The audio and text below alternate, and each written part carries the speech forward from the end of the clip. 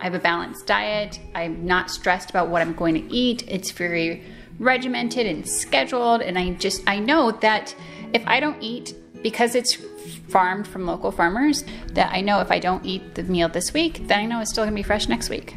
I love it. I love that it's a registered dietitian and a chef prepared meal. And I've tried other competitors and it just doesn't have the flavor. My name is Angela Martin, and PeachDish allows me to be better at life.